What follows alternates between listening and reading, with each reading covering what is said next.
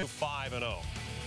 You know, I look at this game and I have to say congratulations to Villanova for stepping up, getting the job done like we know they could. They're 15 and 1 at home. 15 and 1. They showed it. They showed you with the defense. They showed you with the special teams. And offensively, they were aggressive the entire game. Very impressed with Villanova. Congrats.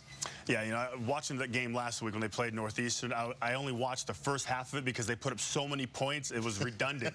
so, and then now this week to see the defense come in, they come into this game with eight interceptions. They get another one, brings it to nine. Then they get a turnover. They just really played aggressive and they played smart.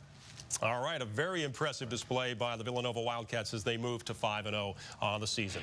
Just getting started here. Coming up, we've got highlights from today's big